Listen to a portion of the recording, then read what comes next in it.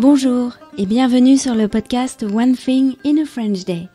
Aujourd'hui, vendredi 4 septembre 2020, cet épisode, le numéro 1889, s'intitule Promenade dans le quartier latin avec Claire, première partie.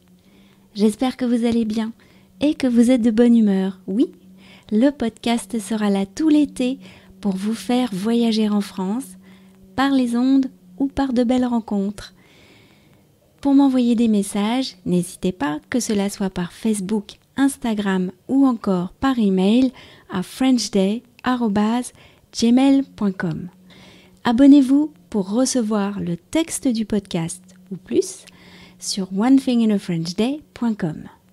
Je m'appelle Laetitia, je suis française, j'habite près de Paris et je vous raconte au travers de ce podcast un petit bout de ma journée. Promenade dans le quartier latin avec Claire, première partie. Je crois que quand je pense balade à Paris, la première image qui me vient à l'esprit est celle du quartier latin. C'est donc là que je vous emmène aujourd'hui. Et pour l'itinéraire, nous allons suivre Claire. Michaela et moi l'avons retrouvée un vendredi soir du mois d'août après son travail. Chers auditeurs, je suis avec Michaela et Claire, que vous connaissez déjà. Vous savez, Claire, étudiante en histoire et maintenant à l'école des chartes. Alors Claire, bonjour, où sommes-nous? Bonjour, bonjour. Alors aujourd'hui, nous nous sommes retrouvés au boulevard du Palais, au coin du boulevard du Palais, dans le premier arrondissement de Paris, au pied de l'horloge de la conciergerie. Et on va faire un petit tour dans mon quartier de prédilection, dans le 5e arrondissement. Eh ben, on y va, on te suit. C'est parti Alors on est toujours boulevard du Palais, mais déjà première étape, on est où Claire?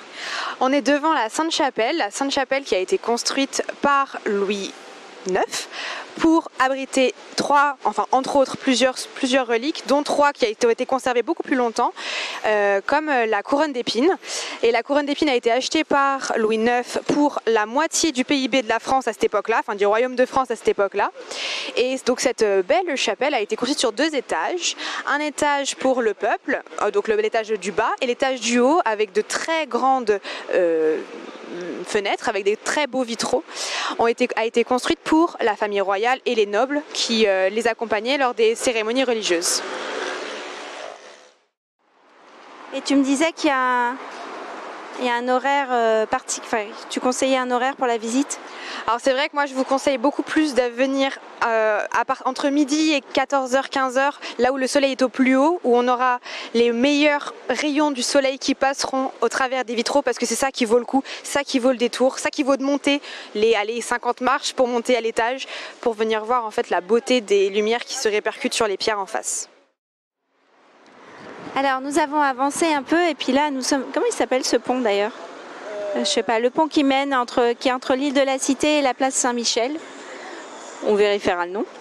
et eh bien bien sûr, qu'est-ce qu'on voit de là? Eh bien on voit notre belle Notre-Dame, enfin belle, maintenant elle a un peu perdu de sa splendeur depuis qu'elle a brûlé, qu'elle a perdu euh, sa belle flèche. Et c'est toujours un peu compliqué de passer devant parce que je l'aimais beaucoup cette petite flèche, mine de rien. Et c'est vrai que surtout qu'on se dit qu'elle a brûlé alors que c'était une erreur humaine euh, bête et méchante dans plein de travaux, alors qu'elle a survécu à la Seconde Guerre mondiale, la Première Guerre mondiale et tous les bombardements qui ont pu avoir avant et d'autres d'autres grands événements euh, parisiens. Et c'est vrai que c'est dommage. Donc nous avons remonté un peu le, boulevard Saint-Michel et nous sommes devant le musée de Cluny. Et euh, ben, on parlait justement des épisodes sur le devant d'hôtel avec Claire. Et puis euh, c'est un endroit que tu aimes beaucoup, le musée de Cluny. Puis à cette occasion, tu nous as, tu nous as expliqué pourquoi le quartier s'appelait le quartier latin. Alors voilà, le quartier latin, c'est euh, une petite colline qui monte vers le, le mont Sainte-Geneviève. Et en fait, tout autour de cette colline. Il y a en fait plein d'écoles qui se sont développées au cours du Moyen Âge. Et dans ces écoles il était interdit de parler français. Enfin le français qu'on parlait à l'époque puisque c'est pas tout à fait le même qu'aujourd'hui. Et, euh, aujourd'hui donc c'est pour ça qu'on appelle ça le quartier latin puisqu'on y parlait latin et qu'on donc on entendait du latin un peu partout ici.